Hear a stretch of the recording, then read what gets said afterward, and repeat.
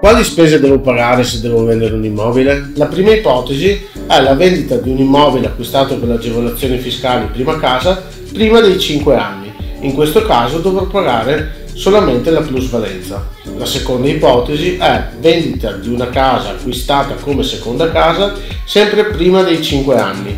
Anche in questo caso avrò un'eventuale plusvalenza da pagare. Come terza ipotesi abbiamo la vendita di un immobile acquistato come prima o seconda casa dopo 5 anni dall'acquisto dell'immobile stesso. In questo caso non avremo alcuna spesa da dover pagare. Se volete maggiori informazioni sui temi che stiamo trattando, contattateci qui.